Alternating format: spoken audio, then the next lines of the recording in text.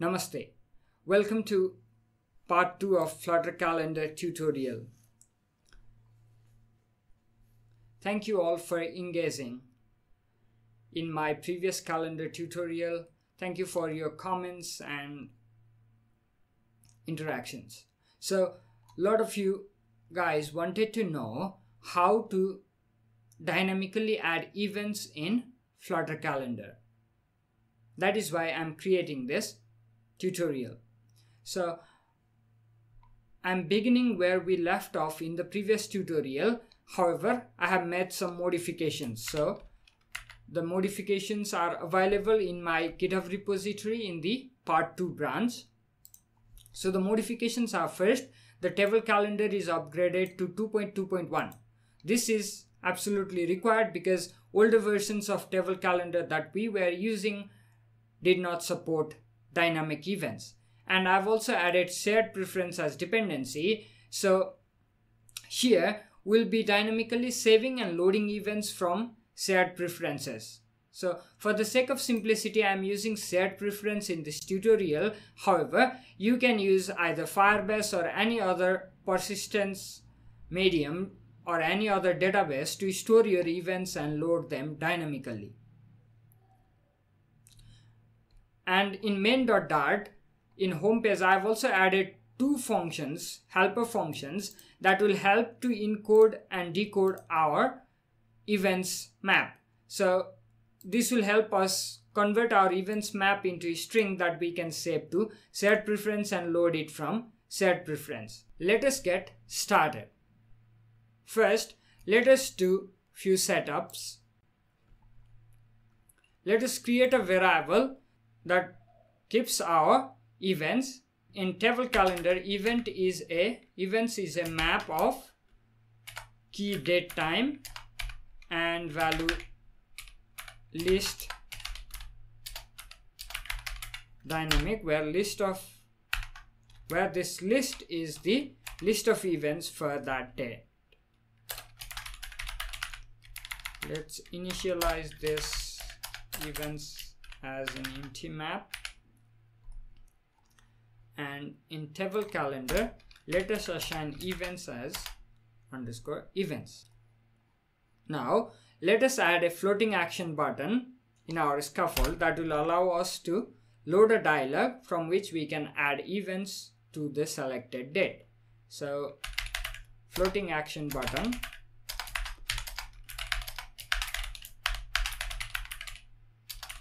add. On pressed for now it's empty. So on pressed will show a dialog.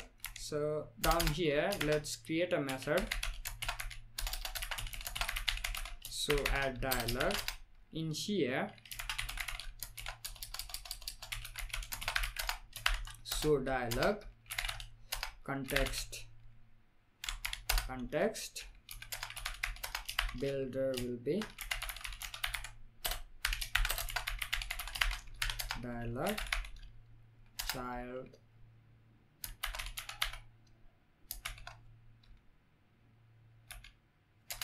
Let's use alert dialog. Alert dialog. Alert dialog. Content will be text field let's not give any decorations. Just give a text field and let's give it actions. And for now just use a save button. Flat button child text save on pressed nothing. And this is alert dialog. Let us do this. Okay. Now let us create a controller for our event field. So up here, let us create a text editing controller underscore event controller. Let us initialize that.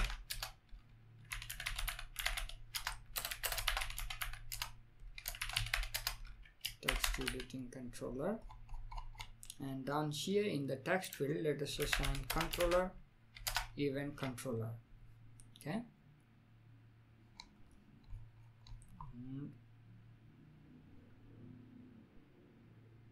okay. Now here on save on pressed save what we'd like to do is if underscore event controller dot text is empty then just return. If not underscore events so first we'll check if underscore events so our controller is a table calendar controller dot selected day. So we'll be adding the event for the selected day. If this is not equal to null if this is not equal to null then what we'll do is underscore events underscore controller dot selected day dot add underscore events controller dot text. So we'll add a new event. Else if that is null then we need to create that object that is controller dot selected day. That means if there are no any previous events so this will be equal to our event controller dot text. Okay? Let us wrap this with set state. So let's move this inside set state. Okay? And in on pressed here so dialog. Called so dialog so let me hot restart because we have changed many state variables. And here let's say I selected 27 and let me add a event test event. Let's press save. Okay so let's see. We don't have any error. Okay so it's showing a event marker. So there is event. Let me do few things. If this is successful let me event controller dot clear next navigator dot pop. That way when I add test event to save okay there are two events. Again let's add for this test events marker are showing now what we'd like to do is we'd like to print the events of the selected day down here. So for that what we'll do is we'll create another variable here. List dynamic selected events. Selected events is equals to empty. And whenever the day is selected set state. So in table calendar on day selected property is set state. Selected events is equal to events. So here we get events. Now down here after table calendar inside this column let us use underscore selected events dot map event. So our event is just a string. So we'll use list tile title text event. Will show event. And this we should use spread operator three dots.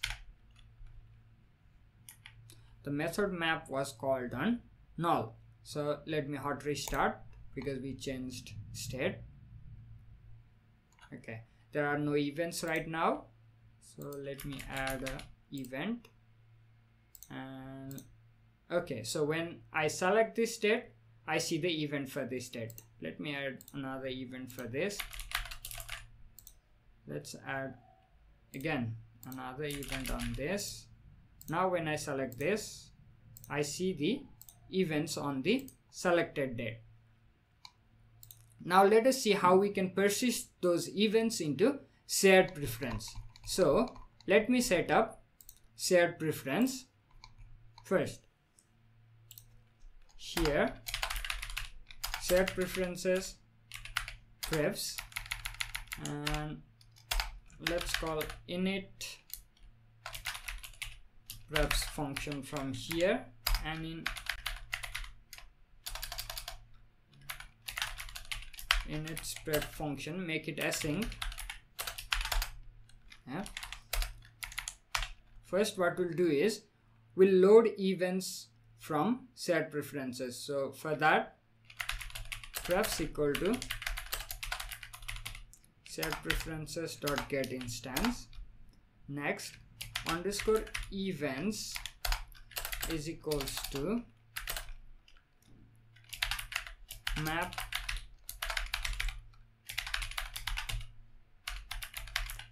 dynamic dot from json dot decode. So prefs dot get string. Let's use the key events events. And this will give us an error because of this date time. So json decode and encode cannot directly convert date time. So we'll wrap this with these helper methods. So wrap this with decode map helper method and here if this is null then we pass a empty map string empty json string. Let's use set state here so it loads events from shared preference x. whenever we add new events we'd like to save those to the shared preference so here down here prefs dot set string key is events and value is json encode and use our function here again encode map underscore events. Okay. So let us hot restart. Finally so there were already few events I added during testing in the shared preference so I'm seeing those here.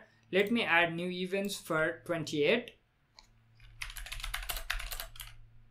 event of 28 again let me add event on 26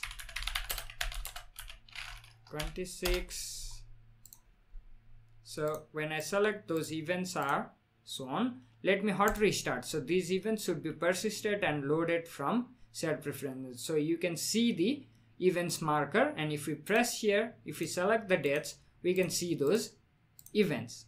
Thank you everyone for watching this tutorial.